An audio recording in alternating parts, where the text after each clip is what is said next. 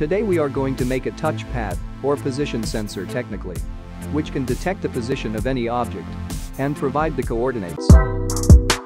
Items required. We will need two ultrasonic sensors. Ultrasonic sensors detect the distance between itself and the object in front of it. We will need a microcontroller to control these sensors.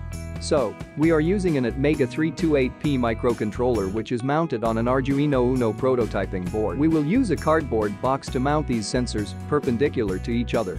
Now it's time to connect these sensors to Arduino. An ultrasonic sensor has four pins. Those are VCC, trigger, echo, and ground.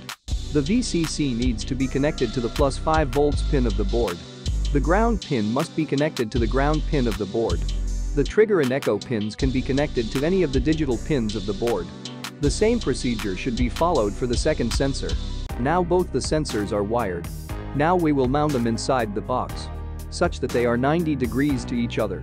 We will use some clips to secure them in position temporarily. Let's upload the code.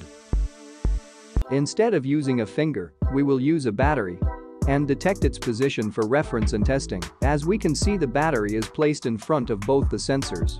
So, the coordinates of the battery are then displayed on the serial monitor. Let's move the battery. The coordinates changed respectively. Let's remove the battery. As we can see, the distance of the walls of the box is displayed. We can play around and tweak the code and hardware to improve its efficiency. We are getting the coordinates, which we will use in future projects to control some robots.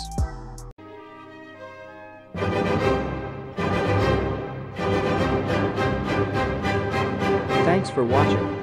Robotics Every Day.